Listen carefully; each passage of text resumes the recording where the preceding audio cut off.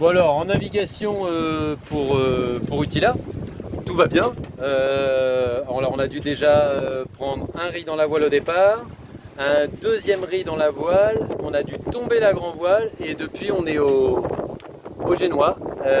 Celle-là est à la barre, mais pas présentable. Ah si, présentable. Et, et- mais bon, c'est pas la préoccupation du moment. On a eu 30 nœuds là, ça s'est calmé. Il y avait 3 mètres de vague, ça s'est calmé. Le problème, c'est qu'on a le, fil de, notre ligne de pêche qui s'est prise dans l'hélice pendant la manœuvre de tombée de voile. Donc euh, bah là, la préoccupation, c'est qu'avec 2 mètres de vague et 25 nœuds de vent, euh, t'arrêter pour aller vérifier l'hélice, c'est pas évident. Euh, à l'entrée, il y a des coraux, on peut pas rentrer euh, que à la voile. Alors, on est en train d'essayer un truc. Bah, on a deux heures pour régler le problème.